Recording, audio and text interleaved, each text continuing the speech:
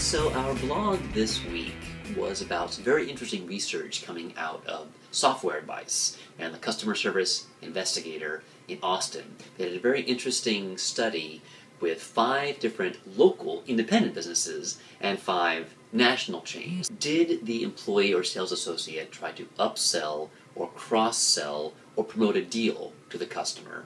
Did they establish an emotional or personal connection with the customer? And how quickly did they create that connection?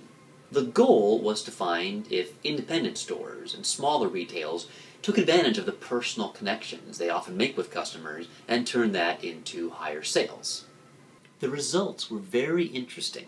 In many cases, the smaller stores were able to create a personal connection with customers more often than the national chains did, and they created that connection more quickly than the national chains. But the national chains did a better job of upselling and cross selling to those same customers. So, independent stores were interacting better with their customers and giving better customer service, but they weren't able to turn that customer service into higher sales. So, how can smaller retailers catch up? Well, one way is training. You know, the larger corporations have standardized training manuals that everybody gets. But independent boutiques, training can be very casual, may not even really occur at all. So it is important, even for smaller stores, to train employees in customer service and in upselling.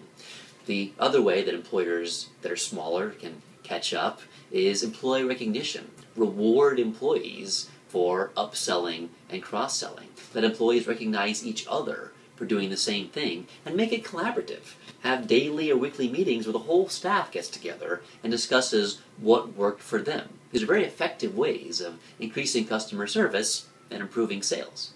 At Brandemix, we've often said that an engaged workforce leads to higher profits. It's backed up by the Harvard Service Profit Chain and many recent studies. Well, now smaller stores have an extra advantage on top of that because we've seen that they can create personal and emotional connections with their customers, and that can lead to upselling and cross selling there on the floor or at the register. So, no matter how you look at it, having an engaged workforce really does lead to much greater success for any kind of organization.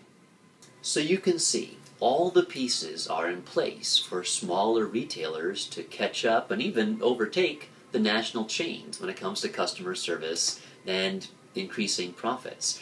We specialize in all these elements like recognition and training and culture. So if anybody out there wants to learn more, Brandemix is happy to help.